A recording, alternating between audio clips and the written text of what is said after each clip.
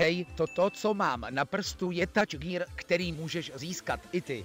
Jedná se o návleky na prsty proti pocení, které vám pomohou vyhrát stresující situaci. Drž hubu Járo, teď tu mám řeč já. Návleky si můžete objednat na této stránce za výhodnou cenu, odkaz v popisku videa. Ahoj, já jsem Xero, vítám vás u dalšího videa po uh, trošičku nějaký době, opět u nějakého dalšího komentovaného replay, ale slibuju vám, že to dneska bude stát opravdu za to. Jak už název videa vypovídá, dneska to bude doslova one man show a uh, bude to se strojem Centurion RAAC. Je to osmičkový prémia, osmičkový prémiový britský metko, který... Pardon, ten zvuk mě pod oknem jede prostě, co se nějaký údržbový auto. Uh, který má ale armor věže reálně prostě tvrdší než některý desítkový metka. Uh, to z něj dělá naprosto, naprosto fakt šíleně, šíleně OP tank, protože vy postavíte RAC do Haldownu a i proti devítkám jste schopný spolehlivě ob- obamcovat, uh, co proti vám mají dělat takový sedmičky. Uh, Tohle to bude jedna z nejlepších bitev průběhem, který jsem kdy zahrál za celou svoji tankovou kariéru, 7 let, 100 000 bitev.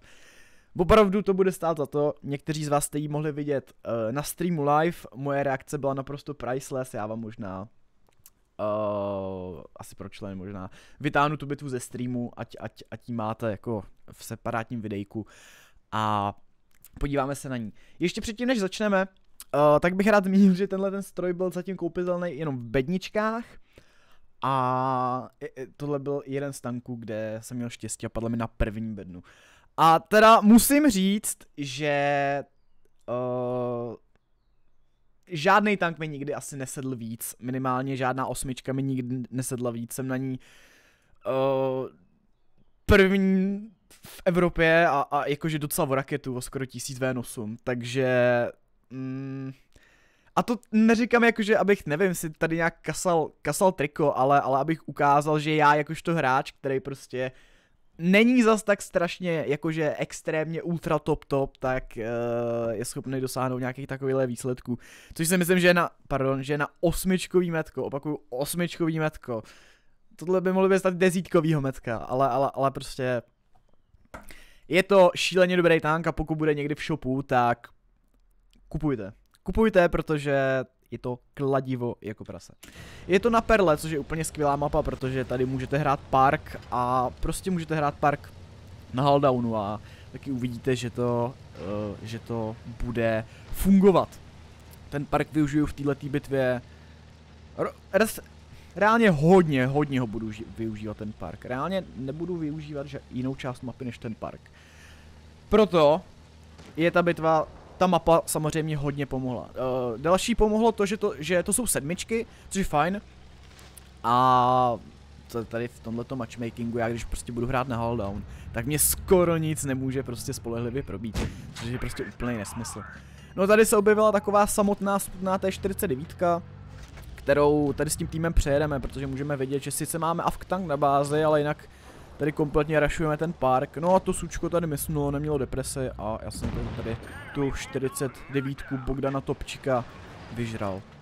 No a říkám si, že teda budu hrát, budu hrát v tom parku. Uh, vidím na minimapě, že enemy, enemy nám pušou bázi, to znamená, že já bych měl mít v tom parku docela docela dobrou pozici, abych mohl střílet právě, že třeba i toho Helsinga, který nám farmí toho Aftigra, což je mimochodem super, že máte prostě Aftigra Uh, a tady se mi bohužel, to jsem dal tomu Helsingovi za nula a pořád si tady, všimněte si, že si tady pořád kontroluju tu levou stranu, jestli mě nepíkuje ta Pantera. Uh, když mě píkla, já jsem si sjel, abych byl perfektně v haldownu, ještě jsem malinko nadzvedl dělo, abych si zakryl kopulku, což je samozřejmě weak spot a Pantera má dobrou pene, Pantera s goldama by si byla schopná najít uh, penetrační ránu do mojí věže, ale klučina ne, nevěděl. Konstrukta tady randí, jakoby se nechumelilo, takže jsem si do něj ulevil jednou ranou. No a bitva je aktuálně 1-4. 1-4 a už nám prostě pocípal celý tým a jediný kill mám já.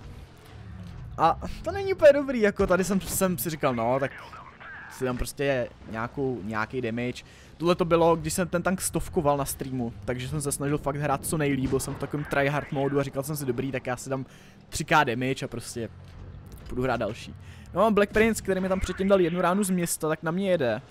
Uh, vozí reaktivní, což je takový, že budu mu, budu mu dávat prostě málo damage. Tenhle ten cent tak má uh, 190 alfu, uh, velmi, velmi pěknou pene, uh, která je myslím úplně stejná jako má Tech 3 Centurion na tom díle, ono je to dílo v podstatě vel, velmi podobný. Uh, plus máte docela slušný DPM, dobrý gun handling, uh, skvělou přesnost dělá a celkově to dělo je fakt extrémně dobrý. Máte 10 stupňů deprese, což právě v kombinaci s tím turret armorem je úplně, úplně strašně nice. A, a vidíte, co se tady prostě stalo s tou, s tou konstruktu. Týpek byl full HP, myslnul do mě jednu ránu a než nabije po druhý, tak je skoro mrtvý. Tady, bohužel, jak zajížděl, tak hodně naúhloval ten upper play. To znamená, že já jsem ho tady bouncnul a ztratil jsem trošku čas. Ztratil jsem tady pět vteřin. Což uh, mohlo být reálně jako důležitější než to, že jsem ho nezabil, to, že jsem ztratil ten čas a nemohl jsem tady pomoct teďka tomu Helsingovi. Ale uh, teda tomu, tomu Smasherovi s tím Helsingem. Ale v tuhle tu chvíli uh, to je to 1v4. Uh, jsem v koloban situaci 1v4 a nutno podotknout, že mám já jediný 3 killy, to znamená, že pokud to vyhraju, tak by to mohla být Rassini. A já jsem tohle to věděl v té bitvě, já si to všiml, a což samozřejmě o to víc jsem byl odhodlaný tu bitvu vyhrát a jak říkám, pokud jste byli na streamu, tak moje reakce byla priceless, to bylo úplně, to bylo úplně skvělý. Každopádně, já jsem teďka ve, ve velmi dobré pozici. Uh, proti mě je tady ta Pantera, kterou jsem si teďka ranou dal na one shot, uh, TDčko kepuje, Helsing, Helsing je na dvě a Black Prince. Black Prince nějak prostě vždycky jde, jako Jediný, co nesmím, tak nesmím nechat toho Black Prince na mě najet, protože Black Prince má o dost větší DPM než já. Black Prince má přes 3000 DPM.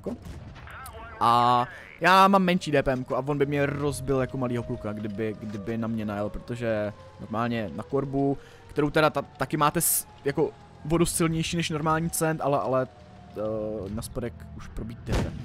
Uh, ta Pantera tady, tady měla třeba hrozně štěstí, protože jsem jí tady už snad dvakrát bouncnul do té věže a já jsem si říkal, že dobrý, Helsing vystřelil, musím teďka zabít tu Panteru.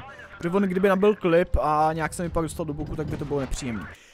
Tady bylo velký štěstíčko, Helsing misnul, Helsing misnul uh, svůj shotgunu, takže já jsem uh, se ho tady zabil bez ztráty kytičky. Což se mi hodilo, to, že jsem tady nedostal damage od toho Helsinga, bylo, bylo Jakože game breaking naprosto. No a jede na mě Black Prince a zároveň to TDčko pořád kepuje. A já si říkám, no tak já musím, musím jet pryč. A chtěl jsem si tady dát ránu do toho Black Prince, bohužel jsem ji netrefil. Ale tady to vynhradím dvěma pěknejma. Jedna za roh. A snažím se mu pořád ujet. Pořád se mu snažím ujet. Druhá za roh. Tady krásně padl i track, což bylo úplně skvělý. Já v tuhle tu chvíli musím prostě jet nutně decap. Musím jet nutně decap, jinak prostě prohraju.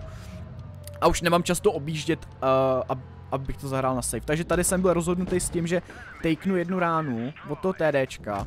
Mohl jsem si dovolit takenout ještě jednu od toho Black Prince, ale v tuhle tu chvíli já jsem na one shot proti uh, 3, 12 HP Black Princeovi a já se nesmím nechat trefit. Ale jak říkám, jak jsem říkal na začátku videa, uh, tohle to je Perla dynastie a tohle to je jeden z nejvíc kopečnatých terénů z celé hry.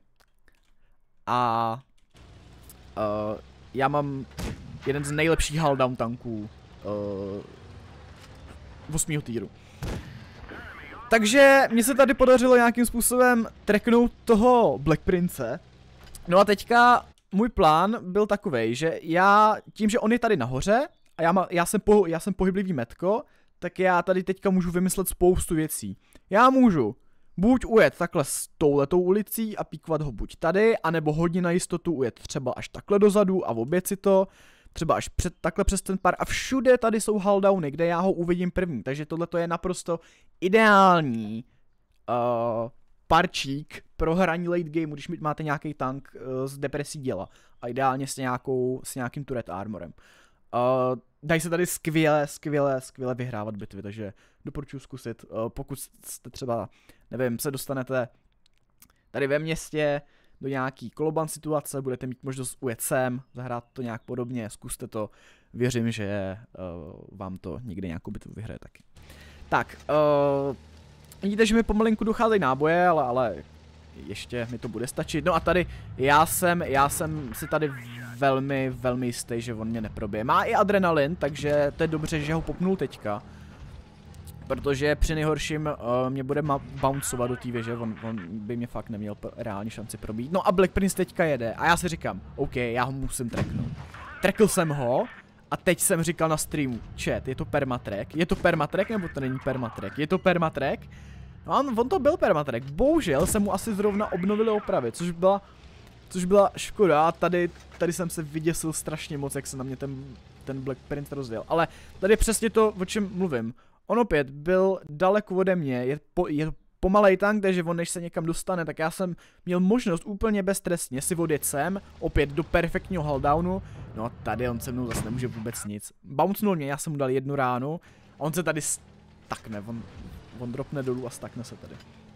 No a e, tadyhle já jsem si už říkal, pane bože, tak jak já to teď vymyslím, on pojede na mě, mě už jsem byl takový, už jsem, tu, už jsem chtěl tu bitvu prostě ukončit, tak jsem si tady zkusil najít uh, místečko na věžičku, což se povedlo. Takže 5300 damage, jedna ve 4 koloban, Rasejniaj a Pepa CZ Black Princeovi. Prostě nemohl nic, protože tenhle ten tank je šíleně OP.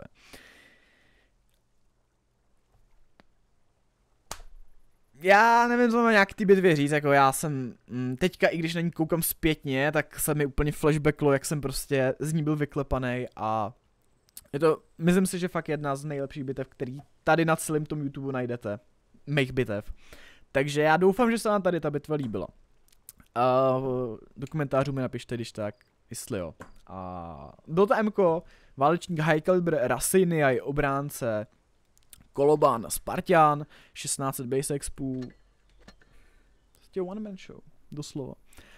A tenhle ten tank, tenhle ten tank je prostě naprostá, naprostá šílenost. Já ho opravdu doporučuji, doporučuji nějakým způsobem uh, koupit, sehnat ho, až, až bude nějak, nějakým způsobem koupit. Uh, jelikož se mě asi budete ptát, někteří věci, co třeba máte, co mám na něm za vybavení, když já jsem to už určitě ve předchozích videích ukazoval, ale ať to nemusíte hledat, tak takhle nějak vozím vybavku na RACčku. A jo, uh, nekecám, fakt tady ta rasejna je. A za mě, za mě je tohleto nejlepší osmičkový metko. Prostě za mě. Uh, můžete mít jiný názor, uh, názor třeba jaký je vaše, nebo pro vás nejoblíbenější, nebo ne nejoblíbenější, pro vás objektivně nejlepší osmičkový metko. Napište do komentáře.